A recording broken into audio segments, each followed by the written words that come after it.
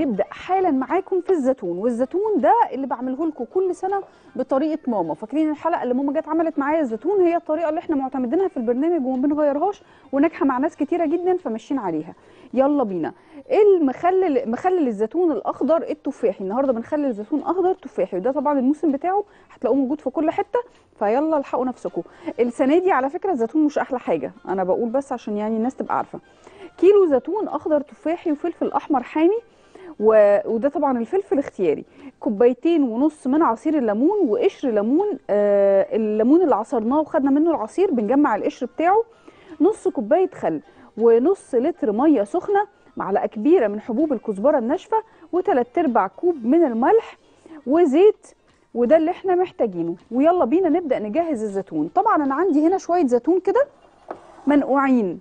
طب الزيتون ده منقوع في إيه؟ الزيتون ده منقوع في مية وخل. أنا هعمل لكم نموذج مصغر يعني من اللي إحنا عملناه.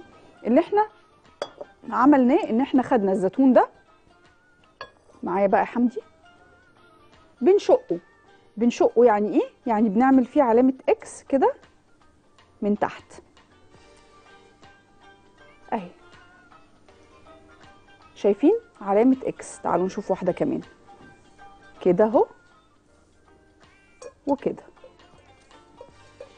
بالشكل ده. حابين تكبروها وتبقى لفوق كده؟ براحتكم. مفيش مشكلة. بس أنا بحس إن ده بيهري الزيتون خصوصا لو أنا عاملة بكمية كبيرة.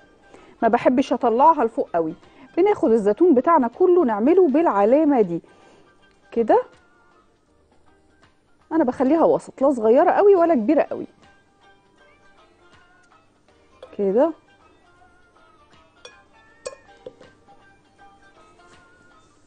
تاخدوا بالكم بقى على ايديكم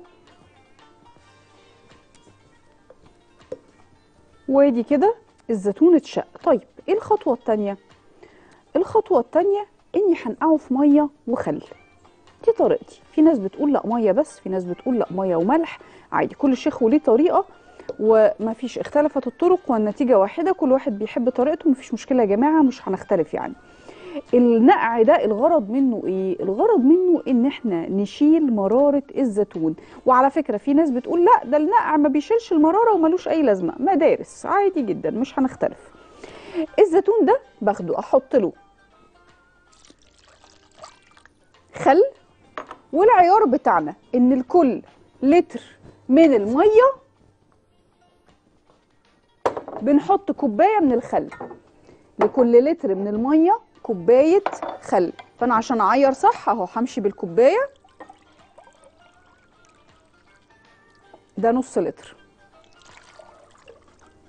يبقى عايزين واحدة كمان زيها. أهو. كده العيار بتاعي سليم. المية دي يا جماعة بنغيرها على الزيتون لمدة 3 أيام بحد أقصى. طيب افرض فضل مر برضو. غيره تاني. افرض أنا بحبه مر اقلل الأيام مفيش مشكلة. لحد ما يبقى خالي من الطعم المر الغير مقبول. ويبقى عندنا كده هنا جاهز. طيب تعالوا نجهز محلول التخليل. هنعمل التالي. هجيب حلة وفي الحلة هحط نص لتر من المية. عايزاها تدفى.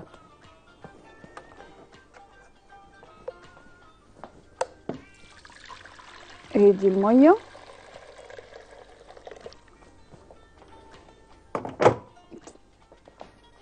ثانك يو أقل حاجة عندي. نعلي النار. ونحط الملح وحبوب الكزبرة. أنا دلوقتي بعمل إيه؟ بحط الزيتون بضغطه كده. في برطماني المعقم. برطماني المعقم ده إيه يعني؟ رحت مركز تعقيم عقمته. لا خالص ولا أي حاجة يا جماعة. يا دخلته الميكروويف 30 ثانية. يا دخلته غسالة الأطباق دورة سريعة بس يعدي عليه المية السخنة المغلية تعقمه. يا إما نزلته أنا بمساكة كده في حلة مية مغلية. أنتوا شايفين أنا تحت عملت إيه؟ أنا تحت حطيت فلفل وشوية ليمون. وهاجي برضو على الوش أحط. قرن أو كام قرن فلفل والليمون برضو مهم جدا. الليمون اللي هكتم بيه الوش ده هو بعون الله اللي هيخلي الزيتون بتاعي ما يعملش أي ريم خالص.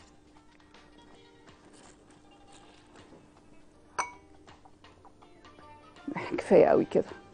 في ليمونتين والنبي ما حاسبكم. وبنضغط كل ده جوه البرطمان. ونعمل إيه بعد كده؟ تمام. عندنا هنا المية اللي غليت. أو سخنت هي مش غليت سخنت.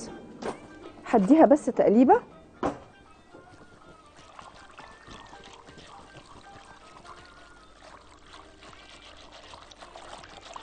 وهحط لها عصير الليمون. وده كده محلول التخليل بتاعنا. حطينا المية أو محلول التخليل اللي هو الليمون والمية والملح والكزبرة والمقادير هنزلها لكم على الشاشه تاني. وبقى عندنا البرطمان القمر ده طبعا هنسيبه بقى براحته يتخلل. أهم حاجة نضغط الحاجة كويس جدا جوه البرطمان ولو غطيتوا الوش بالليمون الكتير اللي أنا حطاه ده بأكد لكم إن مفيش أي ريم هيحصل ولا أي بوظان تقدروا تحطوا زيت بس أنا عارفة إن الليمون كفاية.